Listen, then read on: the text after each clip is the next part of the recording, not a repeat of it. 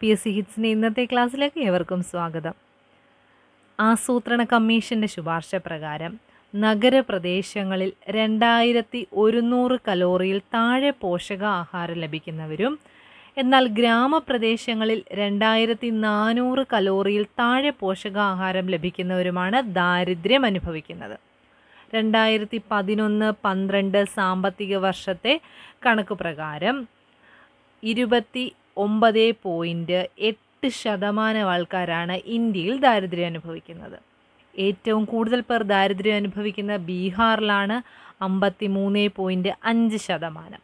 ഏറ്റവും കുറച്ച് ദാരിദ്ര്യം അനുഭവിക്കുന്നത് ഹിമാചൽ പ്രദേശിലാണ്.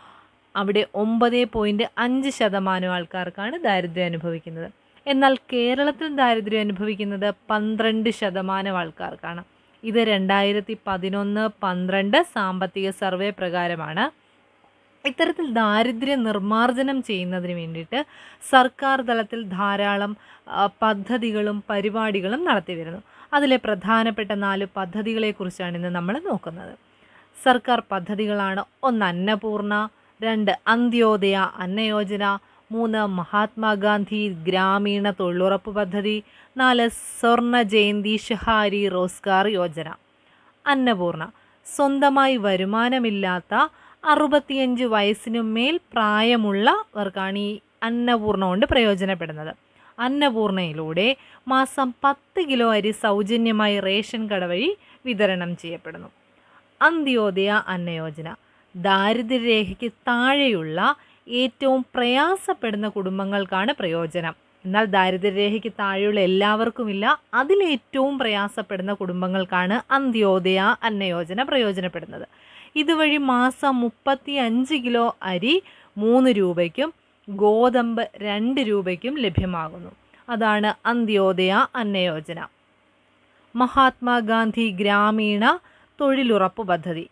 ജോലി ചെയ്യാൻ ആരോഗ്യവും സന്നദ്ധതയുമുള്ളവർക്ക് തൊഴിൽ ലഭ്യമാകുന്നു. ഇനി നൂറ് ദിവസത്തെ തൊഴിൽ ഉറപ്പാക്കുന്ന പദ്ധതിയാണ് മഹാത്മാഗാന്ധി ഗ്രാമീണ തൊഴിലുറപ്പ് പദ്ധതി.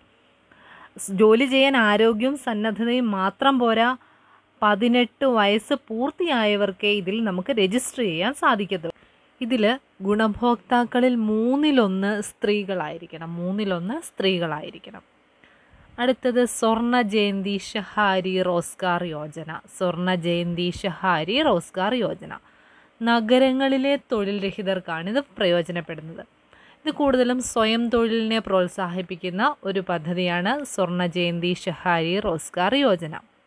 നമ്മൾ ഇത്രയും നേരം നോക്കിയത് നിർമ്മാർജന പദ്ധതികളെക്കുറിച്ചായിരുന്നു. അതായത് ദാരിദ്ര്യ നിർമ്മാർജനം ചെയ്യാനുള്ള പദ്ധതികളെക്കുറിച്ച്. ഇനി നമുക്ക് പ്രധാനപ്പെട്ട മൂന്ന് പരിപാടികളെക്കുറിച്ച് നോക്കാം. ഒന്ന് സംയോജിത ശിശു വികസന പരിപാടി. സംയോജിത ശിശു വികസന പരിപാടി. അംഗനവാടികൾ മുഖേനയാണിവ നടപ്പിലാക്കുന്നത്. ആറു വയസ്സിൽ താഴെയുള്ള കുട്ടികൾക്ക് ഗർഭിണികൾക്ക് മുലയൂട്ടുന്ന അമ്മമാർക്ക് ഇവർക്കാണിവ പ്രയോജനപ്പെടുത്തുന്നത്. അതായത് ഒരു നിശ്ചിത അളവിൽ പോഷക ആഹാരം അംഗനവാടി മുഖേന ഈ പറഞ്ഞവർക്ക് ലഭ്യമാകുന്നു അടുത്തത് ഉച്ചഭക്ഷണ പരിപാടി. എല്ലാ ഗവൺമെന്റ് സ്കൂളിലും ഗവൺമെന്റ് എയ്ഡഡ് സ്കൂളുകളിലെയും എട്ടാം ക്ലാസ് വരെയുള്ള കുട്ടികൾക്ക് പ്രയോജനം ചെയ്യുന്നു. സ്കൂൾ മുഖേന പോഷക മൂല്യമുള്ള ആഹാരം ഉറപ്പുവരുത്തുക എന്നതാണ് ഉച്ചഭക്ഷണ പരിപാടിയുടെ പ്രധാന ലക്ഷ്യം. അടുത്തത് ദേശീയ ഗ്രാമീണ ഉപജീവന ദൗത്യം. ദേശീയ ഗ്രാമീണ ഉപജീവന ദൗത്യം. ഇതും സ്വയം സഹായ സംഘങ്ങളെ സഹായിക്കുന്നു. അതാണ് കൂടുതലായിട്ട് ഇവർ ചെയ്തു വരുന്നത്. സഹായിക്കുക എന്ന് പറഞ്ഞാൽ ബാങ്ക് വായ്പകളിലൂടെയും സബ്സിഡികളിലൂടെയൊക്കെ പണം ഈ സ്വയം സഹായ സംഘങ്ങൾക്ക് കൊടുക്കുന്നു. അതുവഴി അവർ മികച്ച പ്രവർത്തനങ്ങൾ ചെയ്തുകൊണ്ട് പണം സമ്പാദിച്ച് അവരുടെ ഉപജീവനം മുമ്പോട്ട് കൊണ്ടുപോകുന്നു ഇതാണ് ദേശീയ ഗ്രാമീണ ഉപജീവന ദൗത്യം.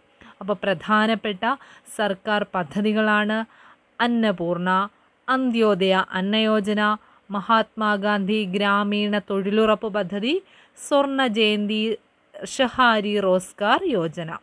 പ്രധാനപ്പെട്ട സർക്കാർ പരിപാടികളാണ് സംയോജിത ശിശു വികസന പരിപാടി സ്കൂൾ ഉച്ചഭക്ഷണ പരിപാടി ദേശീയ ഗ്രാമീണ ഉപജീവന ദൗത്യം.